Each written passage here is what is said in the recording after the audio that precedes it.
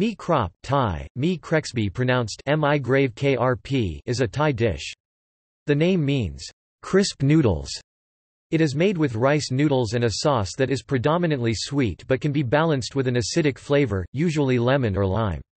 The sour, citrus flavor prominent in this dish often comes from the peel of a Thai citrus fruit called som sa a variety of citron. The dish has a legend, when King Rama V visited the people by boat in the Talad Phlu area and smelled the noodles that a Chinese immigrant named Chin Li Sin Li stir-frying at that time.